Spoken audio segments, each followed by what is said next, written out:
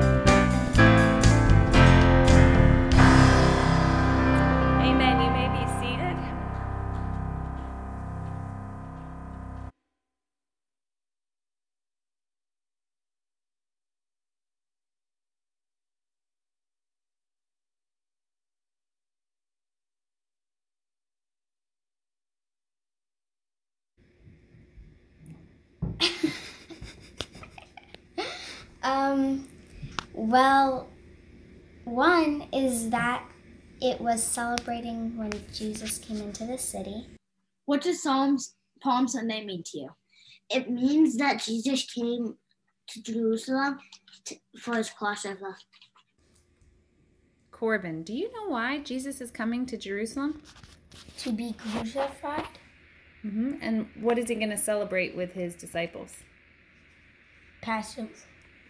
Two, it was showing Jesus how much the people like. Uh, I don't want to say liked him, but liked him by putting down their coats and cutting down palm branches to praise and worship him. Jesus ridden on a donkey, and um, the crowd shouted hall- hall- hallelujah um, Hallelujah. at the top of their lungs, and they placed their sweatshirts and palm leaves down They did. for That's- him to ride on. That's right. And Shane, what's one thing you know about Palm Sunday?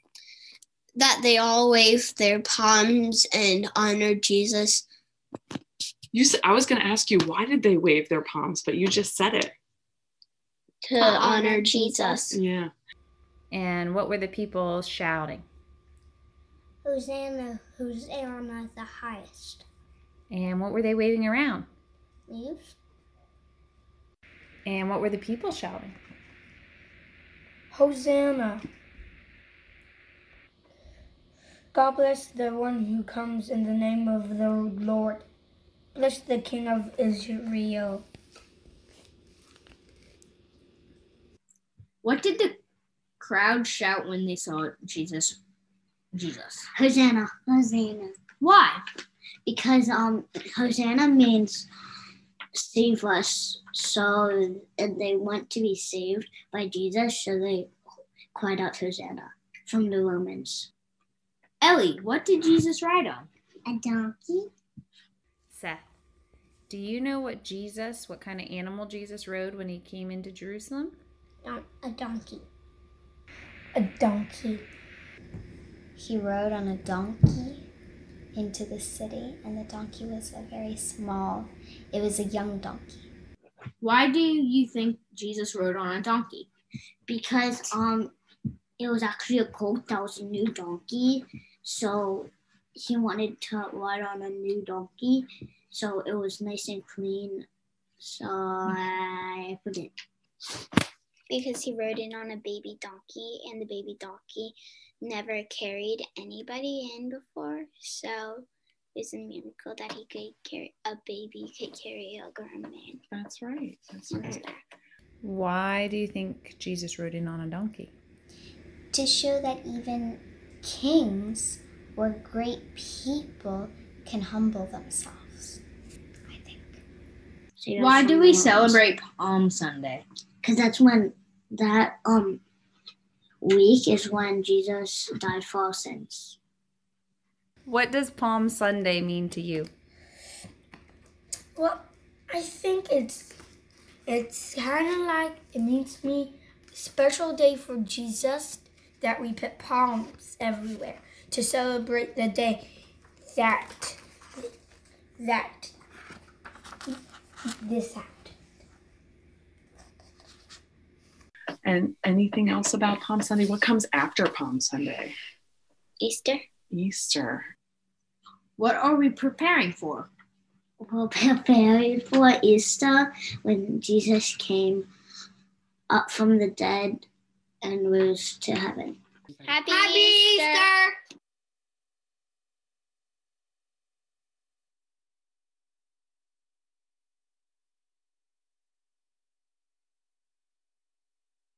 Well, we long for the day when they'll be crawling all over the stage, won't we? You know, uh, before I even say anything, when an answer to prayer walks in the room, you just have to acknowledge it. Olive, Nellie, and Andrew Paulson, their whole family back here, they were severely stricken with COVID 19.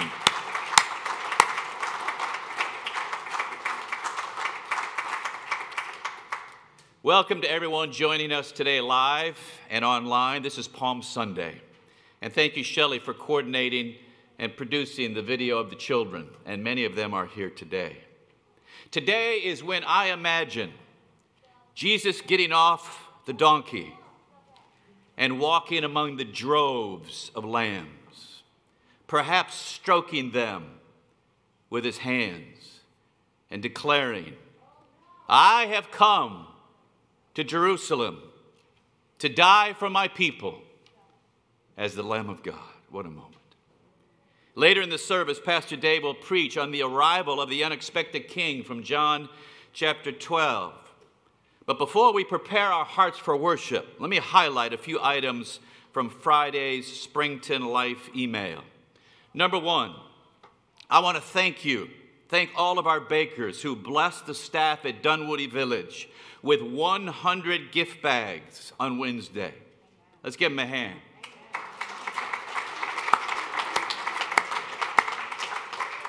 In this simple way, we not only thank them for their dedicated service to the over 400 residents, and especially during the lockdown of pandemic. I mean, it's been an isolation uh, catastrophe for some of these people. Waving to their grandchildren through a window, knocking on a window, weeping, longing. Hope is on the way. And so we also gave them uh, wonderfully baked goods, but also an invitation to join us on Easter live or online. Second of all, you can register for Holy Week services online, and we also have some pink invitations on the tables when you leave for neighbors, for friends, for family. You know, we didn't get to worship together last year, and Easter and Christmas Eve are the best attended services of the year. I believe our neighbors will be willing to log on and join us, and many will come here. And so, Good Friday service is the night, Good Friday is the night when we remember the great gift of love Jesus demonstrated on the cross, and communion will also be served. Saturday morning is the Easter egg hunt. Candy is still needed. Grab a bag of plastic eggs in the foyer and then return them full outside the entrance to Fellowship Hall. There's a tub there by Wednesday. And then, of course, Easter celebrate our hope and share that hope by inviting a friend. I told you last or a couple of weeks ago, 12 human beings walked on the moon. Today, only four of them are still alive. This is an event we planned for a year ago, but because of the pandemic, it's delayed. The youngest member to walk on the moon is Charlie Duke Jr., Apollo 16 lunar module pilot. Along with his wife Dottie, Dottie is going to be speaking on Friday night right here to a live audience of women and then online. And then Charlie will speak to men and women. All are invited on Saturday morning right here. He has NASA footage of his journey, the great adventure. But the greatest adventure is when he, two and a half years later, upon splashdown, came to know Jesus Christ as his Lord and Savior.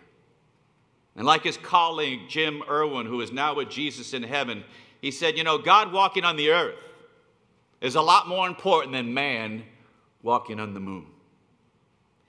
Prayer cards we have on the table when you leave today. If you have requests, please let us know or go online. And also, I apologize, but it's not our fault or Scripture Union. The mail is just way behind. And so we have the April Encounter with God and we have the April Discovery on the tables when you leave. If you're watching online and you use these devotions, we will put them in the plastic bins outside Fellowship Hall. Now let's transition to worship. For centuries, the church has memorialized today as Palm Sunday because of the palm branches and the cloaks, the sweatshirts that were spread out before Jesus as he rode into Jerusalem. I think to myself, it must have been a mob scene with chants and joyous celebrations, but it was not to last.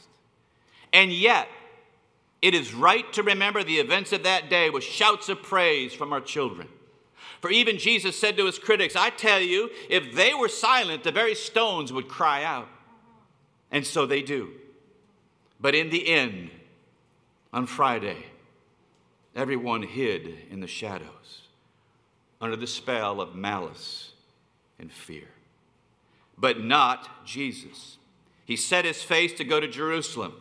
His determination, motivated by love, should amaze us. And for a brief moment, the worshipers got it right as they approached the holy city with their palm branches, singing the songs of Hallel, which in Hebrew means praise. And one of those songs was Psalm 118. If you're able, stand with me and we'll sing or say a portion of it together, verses 18 to 25, reading responsibly. Imagine throng singing this hymn Open to me the gates of righteousness, that I may enter through them and give thanks to the Lord.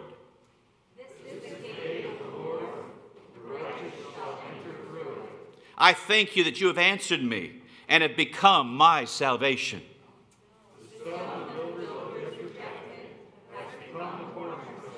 This is the Lord's doing and it is marvelous in our eyes. This is the day the Lord has made. Let us rejoice and be glad Save us, we pray, O Lord. O Lord, we pray. Give us success. Let's worship together.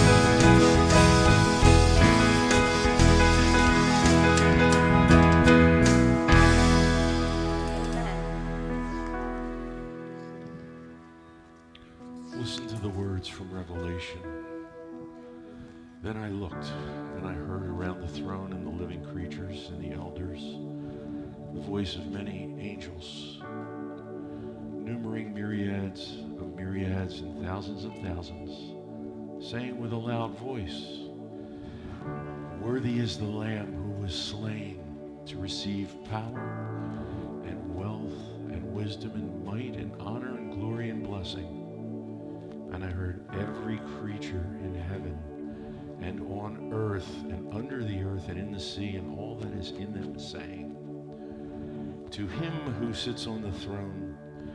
And to the Lamb be blessing and honor and glory and might forever and ever.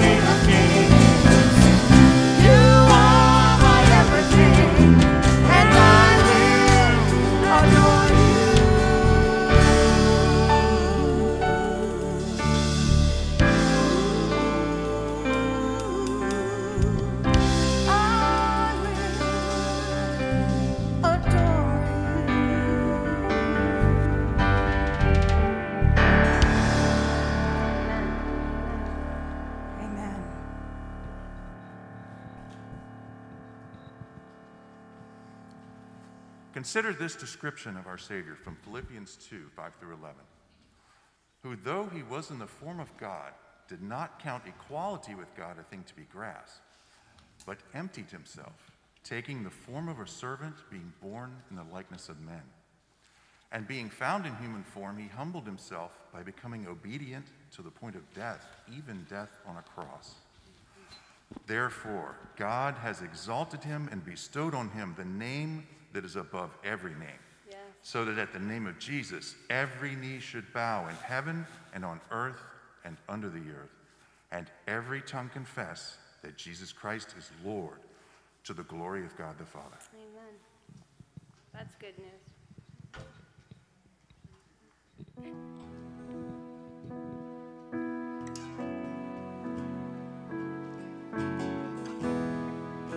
Let's sing the song together, Jesus Messiah, the one who knew no sin, who became sin on our behalf, that we might become all the righteousness of God because of him.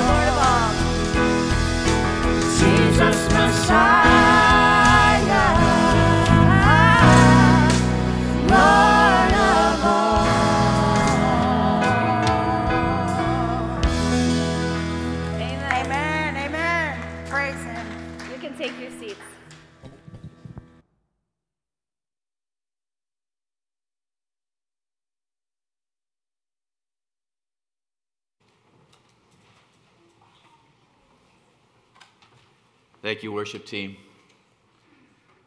They have been so faithful. I'm so grateful.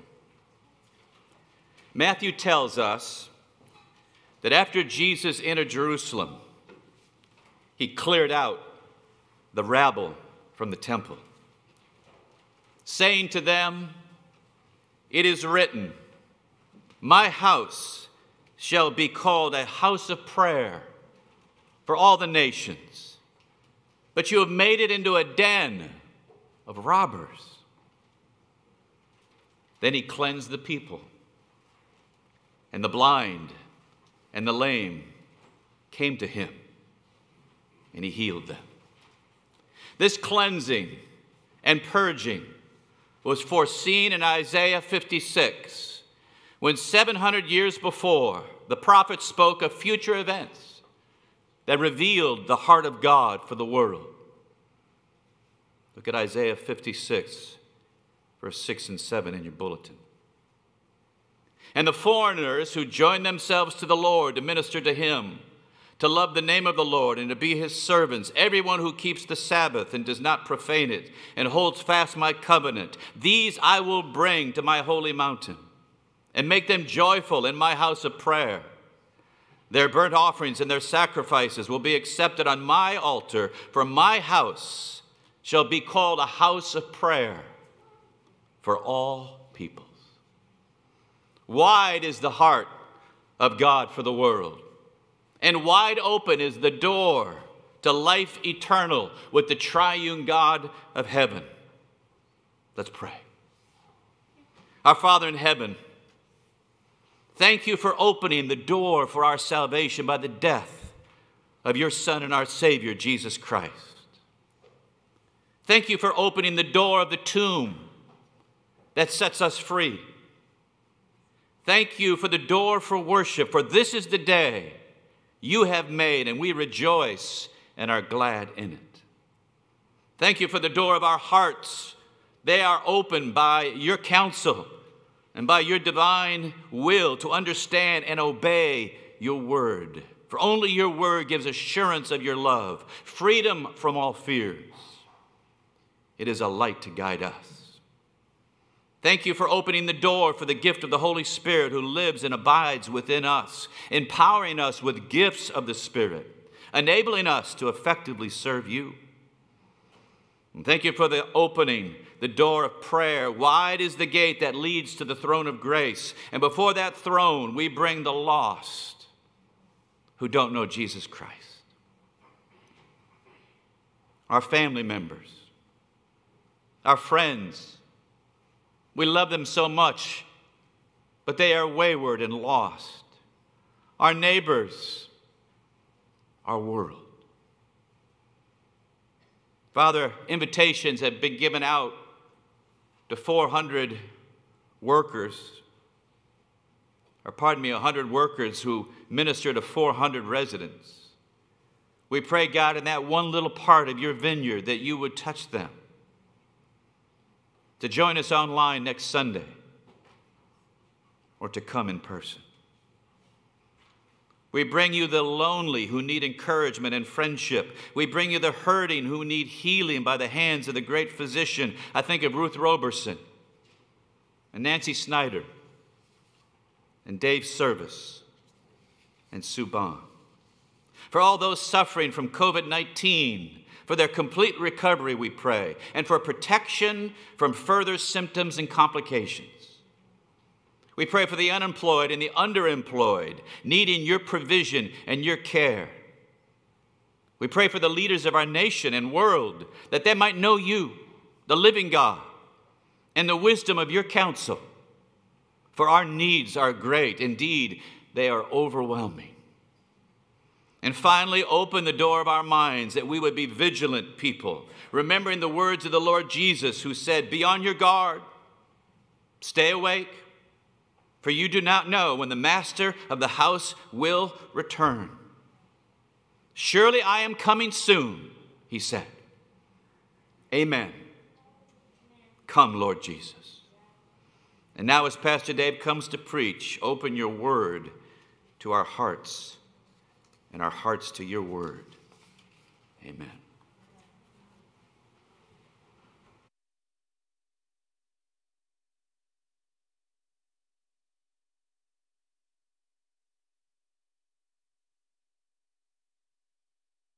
Good morning.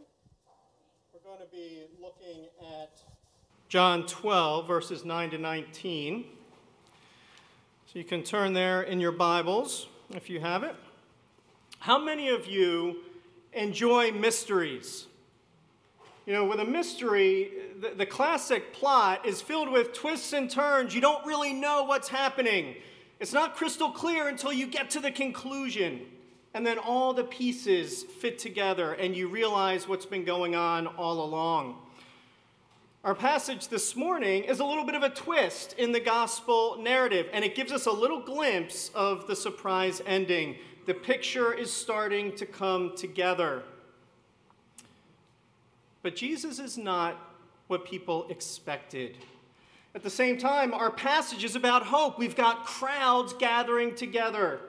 Sometimes crowds gather together for mere spectacle, but often crowds gather together because of some hope. A politician making a speech offering hope, gathering in the streets in hope of changing society. Our passage points to where we can find hope this morning. If you're here with us investigating the Christian faith, you're not really sure what you believe, either in the sanctuary or online, we're so glad that you joined us this morning. And my prayer for you is that you would see that Jesus is a very different king and that he offers us hope. That he has faced opposition. His kingdom has faced opposition from the beginning, but it has been moving forward. Please join me in reading John 12, starting in verse 9. When the large crowd of the Jews learned that Jesus was there, they came, not only on account of him, but also to see Lazarus, whom he had raised from the dead. So the chief priests made plans to put Lazarus to death as well, because on account of him, many of the Jews were going away and believing in Jesus. The next day, the large crowd that had come to the feast heard that Jesus was coming to Jerusalem. So they took branches of palm trees and went out to meet him, crying out, Hosanna! Blessed is he who comes in the name of the Lord, even the King of Israel. And Jesus found a young donkey and sat on it, just as it is written Fear not, daughter of Zion. Behold, your king is coming, sitting on a donkey's colt. His disciples did not understand these things at first, but when Jesus was glorified, then they remembered that these things had been written about him and had been done to him. The crowd that had been with him when he called Lazarus out of the tomb raised and raised him from the dead continued to bear witness. The reason why the crowd went to meet him was that they heard he had done this sign. So the Pharisees said to one another, You see that the, you are gaining nothing. Look, the world has gone after him. This is the word of the Lord. So keep your Bibles open if you have it or turned on. Uh, we're going to be going walking through this passage. This is a scene of high drama in the Gospels, as I mentioned earlier. It's actually recounted in all four Gospels. And as we go through it, we're going to consider each of the players in turn, starting with the religious leaders, then looking at the crowd, and finally the king who's in the center of it all. So, this is an event, as, as Rick and our kids reminded us, is called the triumphal entry. And John's account happens right on the heels of this intimate dinner party where Jesus was anointed by Mary with the costly perfume. And we looked at that a couple weeks ago, and Mark even tells us that it's on the heels of that that um, Judas decided he was going to betray Jesus. So, in this passage, John is listing both of the, the religious leaders. He talks about the chief priests early on, and then at the end, he talks about the Pharisees. Now, the chief priests were Sadducees, and they're getting ready to engage in an extreme cover up. What's going on here? If, if you look back at John 11, Jesus has raised his good friend Lazarus from the dead. John tells us he was in the tomb for four days. This was not a resuscitation. He had done this incredible miracle of bringing somebody back to life. And because of that, many people believed in him. But John tells us that some people went back and told the religious leaders. And he says in verse 53, John 11 53, so from that day on, they made plans to put him to death. Why would they do that? John explains their rationale in 1148. He says, if we let, they say, if we let him go on like this, everyone will believe in him. And the Romans will come and take away both our place and our nation. So they're worried about a revolution that is going to bring down the wrath of Rome. Now you have to realize the Sadducees were the comfortable ruling class. They had it about as good as you could under foreign occupation. They ruled over everything, they lived in relative ease and comfort, and insurrection would make their lives a whole lot worse. Not to mention that Rome would hold them responsible because they're supposed to keep the people in line. So they are fearful of losing control of the people. So look what it says in verse 10 of our passage. Uh, because of this, the chief priests now made plans to put Lazarus to death as well. They want to literally bury the evidence. We got to kill this guy that's been raised to life. Now, this is incredibly important. These are the religious leaders. These are the people that are supposed to point to God, whose lives should be leading in reflecting His goodness, His holiness. And instead, they are on this murderous campaign to suppress the truth. Now, I just want to stop for a moment and consider the madness of their unbelief. You know, it's, it's easy for us to think that unbelief is kind of a neutral thing. You know, I just don't have enough evidence. I don't believe because you've not given me enough evidence. This passage is making clear that there is no evidence that will be enough to counter unbelief. There is a willfulness behind it, a willful blindness, we could say. In fact, if you're here investigating the Christian faith, you need to know something. Romans 1 says that all you have to do is look outside. All you have to do is see the flowers coming up in the spring, to see the beauty of the heavens, that God is screaming out, I am, from what He's made. But Romans goes on to say that we suppress that knowledge. We turn away from that. We choose blindness, like these chief priests who were saying, let's, let's kill this guy, rather than change the way we think. Now, I just want to ask you um, if you're here investigating the faith again, will you come to him in humility? Will you consider, is this true of me? Am I knowing and turning away? Will you ask him and talk to him about that? You know, there's another piece of this. I mentioned that the leaders were worried about losing control. One of the reasons we don't come to him is because of fear. We don't like losing control. We want to be in control of our lives. One of the reasons why we fear is we're asking, is he really safe? I'm thinking particularly of people who have suffered in profound ways. Is he safe? Can I trust him? And my prayer for you this morning is that you would see that He is, that He is safe, that He is good. Now, these were the good religious people. Let's bring this into 2021. Uh, who are the good religious people in Newtown Square this morning? All of you people who have chosen to come to church today, right? Now, if we take this passage seriously, where are we in danger? This passage is saying that good religious people are capable of profound wickedness, that the most heinous sins imaginable, like murder, can be tucked in right beside your good intentions. We can be blind and not see it. Uh, and this should give all of us pause this morning. Think about how many, sadly, Christian leaders in recent years we've seen exposed in all kinds of scandals? And this should really lead us to be asking God, like David did in Psalm 139 Search me, O God, and know my heart. Try me and know my thoughts, and see if there be any grievous way in me, and lead me in the life everlasting. As we're going to see a little later, believing in Jesus is what frees you to pray this prayer because your sins are covered. You don't need to worry about being exposed. Now, the religious leaders are also unwittingly pointing to the future. So I mentioned they, they raised, to, you know, uh, Lazarus was raised to life, and the leaders wanted to put him to death. You know, as they were fretting about this in chapter 11, the high priest says, You know nothing at all, nor do you understand that it's better for you that one man should die for the people, not that the whole nation should perish. And then John goes on and explains, He did not say this of his own accord, but being the high priest that year, he prophesied that Jesus would die for the nation. And listen to this not for the nation only, but also to gather into one the children of God who are scattered abroad.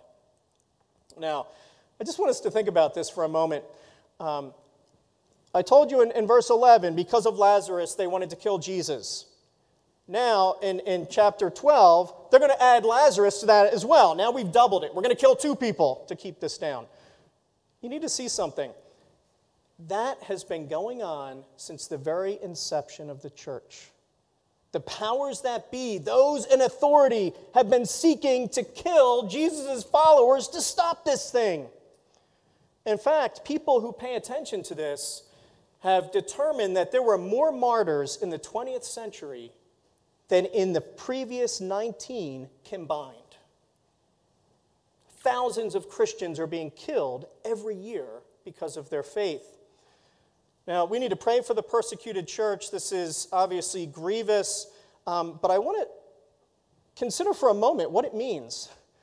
The rulers of this world are desperate but they are impotent at suppressing the kingdom of God.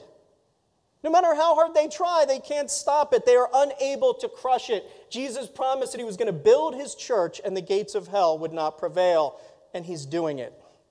He's proving 2,000 years later that his kingdom is unstoppable and it's indestructible, spreading to every tongue, tribe, and nation. And so that's the other way that the leaders are pointing forward to the future.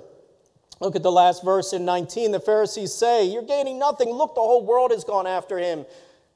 That's what the high priest a moment ago we look at prophesied that they are all scattered abroad, that, that this is going to go out from the Jewish nation to all people from every tongue, tribe, and nation. And so in John's gospel, you'll notice in the next pa- uh, passage, the Greeks are coming to him. It's a foretaste, a foreshadowing of what is going to happen. Now, John describes two crowds in this passage one that came to Bethany because they wanted to see Jesus and they wanted to see Lazarus. And then also all these pilgrims who had come to Jerusalem for the feast. Now, the first crowd is the one that is already with them in Bethany. This is the one that the, the, is raising the concerns of the chief priests in uh, verses 10 and 11. And we, we looked a couple weeks ago at the intimate dinner party, right? I described it as this quiet moment that Jesus had with his friends. Well, John tells us now that the people crashed that dinner party. They heard what was going on, they all came to see what was happening because they wanted to see Lazarus. Um, if you are in Christ, is your redeemed life drawing attention? You know, Jesus did not come to make good people, he came to raise the dead and to give life to us. Um, people notice radical transformation, they notice lives that are changed. So I want to ask you is anyone noticing as they look at your life? You know, then John tells us that, that the next day the word had spread broadly in Jerusalem. So now crowds are, are streaming out of the city to come and meet him on the road and then usher him into the city. I want you to keep that picture in your mind. We're going to come back to that at the end of the sermon.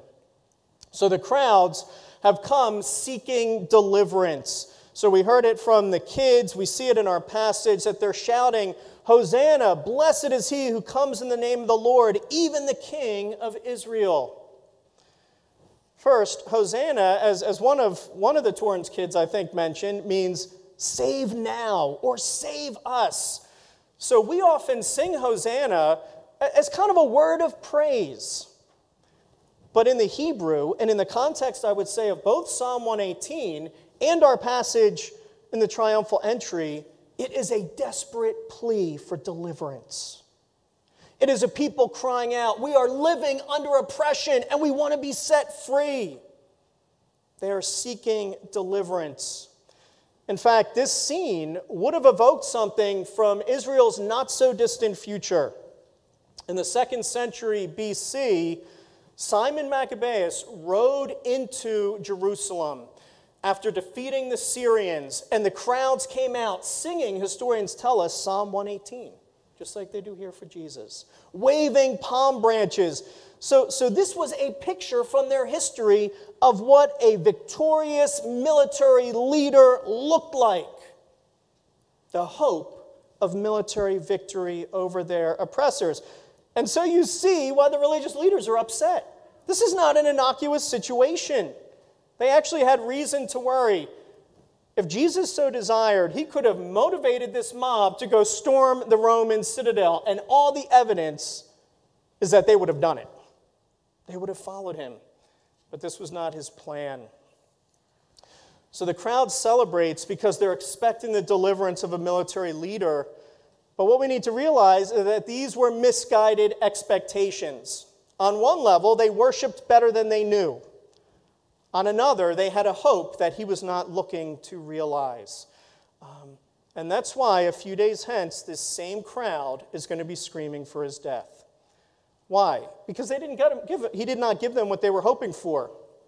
Now, think about it this way, particularly in the context of the raising of Lazarus. What would be better than a military leader who could raise the dead? If that's not a threat, your enemies have no power over you. So I just want you to, to check out this, this little passage that really, I think, captures this. It's from Oscar Wilde's uh, play, Salome. And so Herod says, What is this miracle of the daughter of Jairus?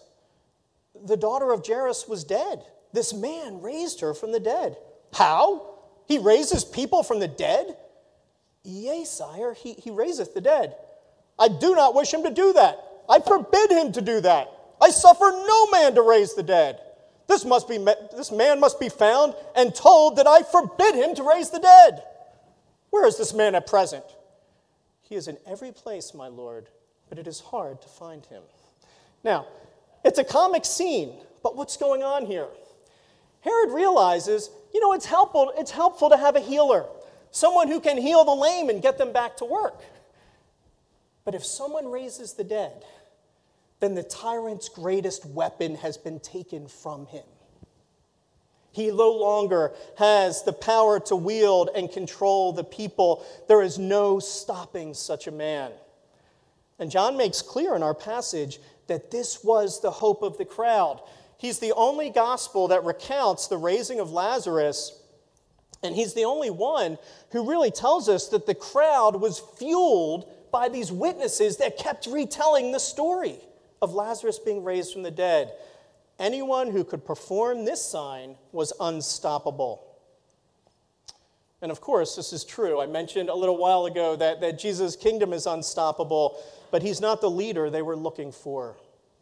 Now, before we go on, you need to realize that there is a warning here for us from this fickle crowd. You know, today they are waving palm branches and crying out for deliverance in a mere five days. They will screaming, they will be screaming for his death and saying, Let his blood be on us and on our children. Why? Because he failed to do what they wanted him to do. We need to be really careful about coming to Jesus with, with our demands, with our agenda of what we think he should do. Otherwise, we are in real danger of becoming disenchanted, angry, embittered when things don't go our way. You know, as we'll see in a moment, Jesus accepts their praise as king, but he came as the king that his father had appointed, not the king that was going to follow the people's agenda for him. So I want to ask you, what are you expecting from Jesus? And when he doesn't deliver, how do you respond? Does it seem like he is over promising and under delivering for you? You know, I've only been eh, with the church here for about a year and a half, but already I know, having come alongside many of you who have been praying for years and years and years, as Rick mentioned in his prayer, some of you for wayward children or for others you love who are on a destructive path. Some of you dealing with profound physical ailments, crying out for relief. Some of you having received, even just this week, horrible news about your health. How do we respond when Jesus doesn't seem to answer the prayers that can even have godly expectations to them? You know, the people were looking for deliverance from Rome. That was a good thing to desire. But he didn't respond in their timing or liking. These are hard things. Um, one of the reasons why I just want to encourage you to join us for the prayer meeting tonight is that we do need to come together to be praying. So that's on Zoom at 7 o'clock. The information was in the Friday email. We need to encourage and support each other in this. But how are you going to respond when Jesus does not do what you expect? I love John's honesty in verse 16. We didn't get what was going on, he tells us. This was one of Jesus' closest disciples. We didn't get it. We were so ignorant and obtuse, we didn't get it until our eyes were open, until we saw him glorified. And that brings us to the last character here, the king. What kind of king are we talking about? First of all, he is fulfilling prophecy. I want you to realize this Jesus knows who he is. The synoptics go in much more detail describing how he instructed his disciples to go and, and procure the donkey's colt for him. Um, John just cuts to the chase. They are hailing him as king, and he grabs a donkey in order to fulfill Zechariah's prophecy. We put the whole uh, prophecy of Zechariah on the back of your bulletin. But in verse 9 it says, Rejoice greatly, O daughter of Zion. Shout aloud, O daughter of Jerusalem.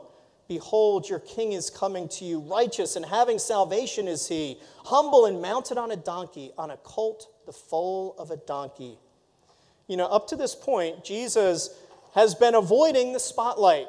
He has shunned the people's desire to make him king on a number of occasions. In the gospel, they come to him seeking to make him king. But now his hour has come. He receives their praise and he rides boldly into Jerusalem. And I want you to consider this for a moment the, the, the courage that's involved here. Jesus was an outlaw. He knew the leaders had put a price on his head, they were trying to kill him. And John told us actually in, in chapter 11 that for that reason he went out into the wilderness after the raising of Lazarus. But now he rides boldly into the royal city. He is defying the powers that be. He's not sneaking in through some kind of back alley into Jerusalem. He is making an entry that assures every eye in that city will be focused on him. He defies the leaders, their power, and their ability to bring destruction. Now, one of my favorite literary pictures of an unexpected king is Aragorn from The Lord of the Rings. Um, and this is one of the reasons, by the way, that you need to read the books. Uh, the director, Peter Jackson, has a lot to answer for here because he really has distorted uh, some of the characters, Aragorn in particular. He's not the, the, the weak, insecure character of the movie who's unsure of his ability and his destiny. In the book, He's a confident hero who knew his identity from the very beginning. The very first scene you see him, he has the broken sword. He declares who he is as the rightful heir to the throne. Uh, he's waiting for the day when that sword will be refor- reforged. And then finally, after his first victory over his enemies, he's going he's to make his identity known to the powers that be. And so Tolkien writes Not all who wander are lost. So Jesus has been biding his time. But now, we've talked about in past weeks in our study of Mark how he was setting the stage for this. Now, his timing and arrival to Jerusalem, he, he planned for the Passover because, as we were singing about earlier, he came to go to the cross. Now, why? Why does he do this? Jesus came bringing peace for us. He doesn't arrive, look at the scene again, as a conqueror on a stallion, but a messenger of peace riding on a donkey. Zechariah, as we read a moment ago, prophesied this that the true king would be arriving without a bunch of pomp and circumstance. He comes into the city like a typical commoner, like a peasant on a trip to town. As the picture you see here depicts, this is a small, humble animal. The foal would have been that little guy, where his feet, he would have had to lifted his feet to keep them from dragging along. Um, he demonstrates not only that he fulfills his prophecy, that he's the true king, but also the kind of king he's going to be.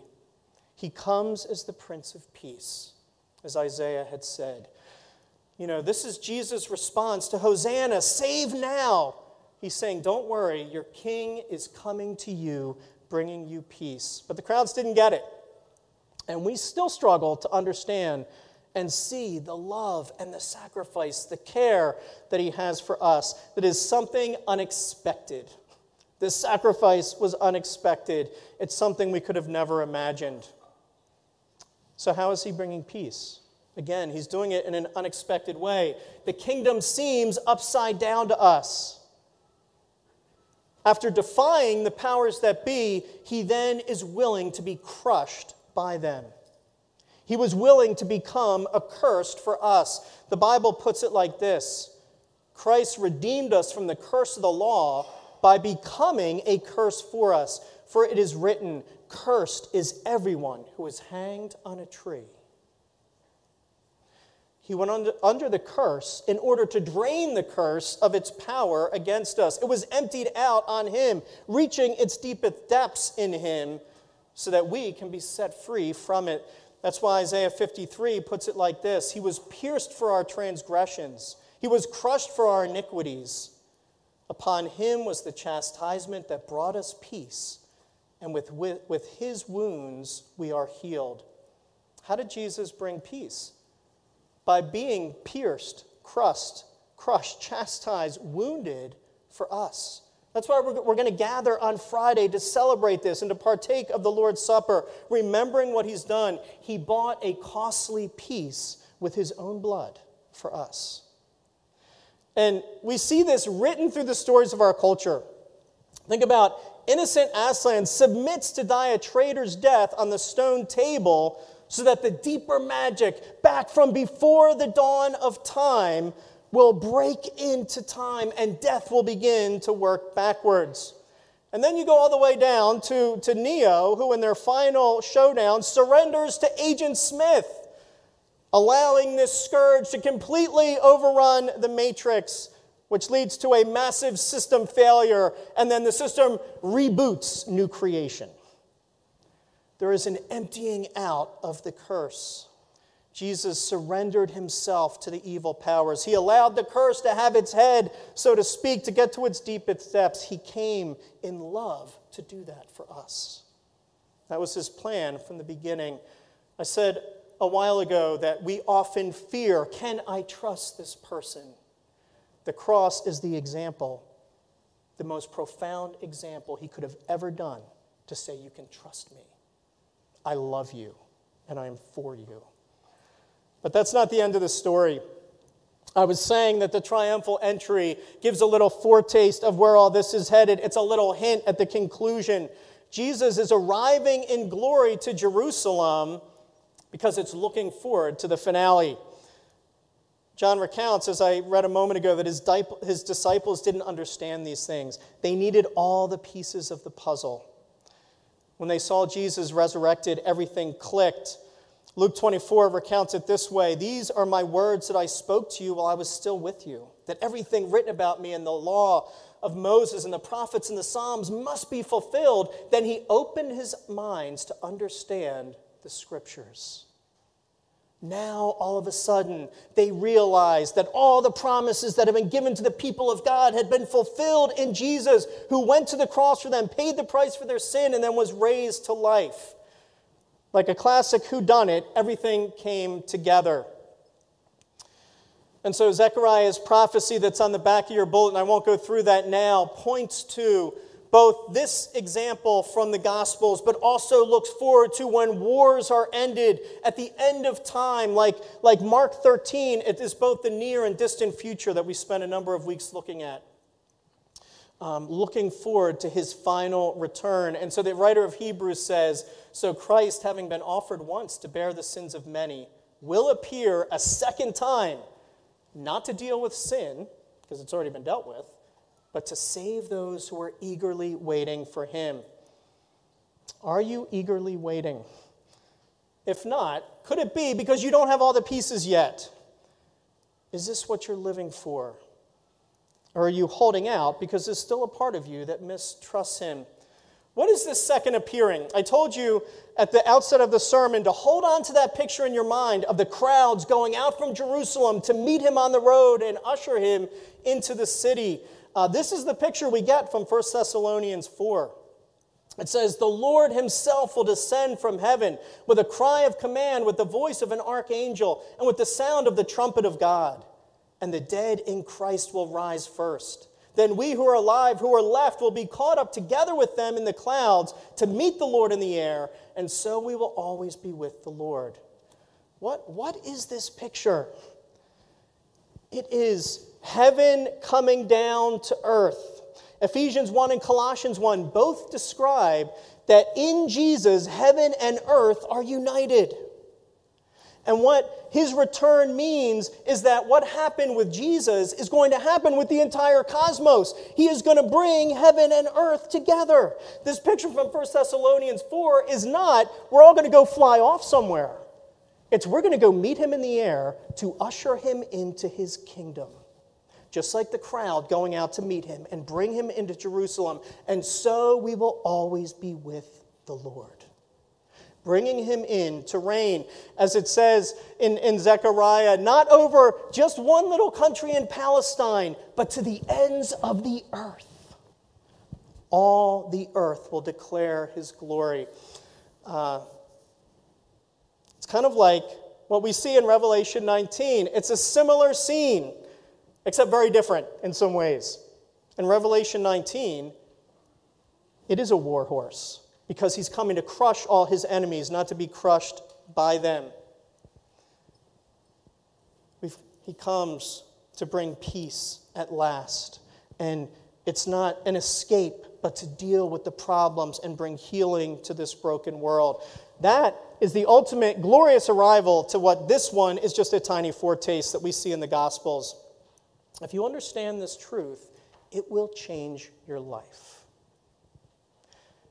if you understand his love for you, it will reorder the priorities and the things that are weighing you down. Do you know the depth of the love of this unexpected king for you? Let's pray. Father, we thank you for your goodness to us in sending Jesus. We pray that the hope that we see in this passage would fill our hearts. In Jesus' name, amen.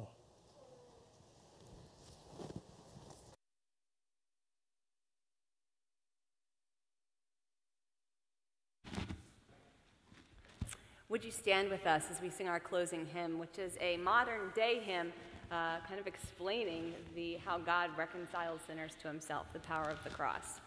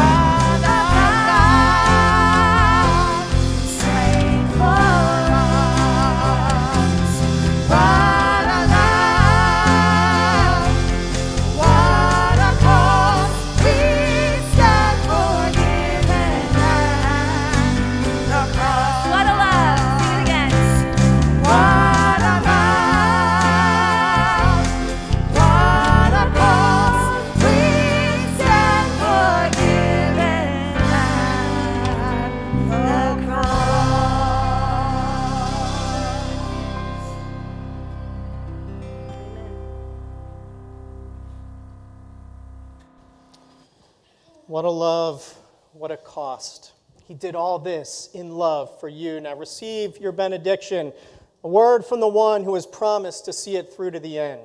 Now to him who is able to keep you from stumbling and present you before the presence of his glory with great joy.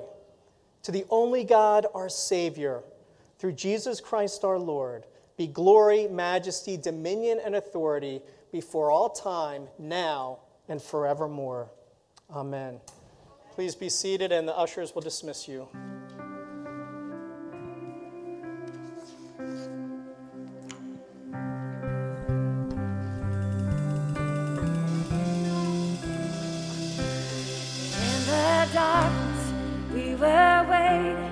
Without hope, without light, till from heaven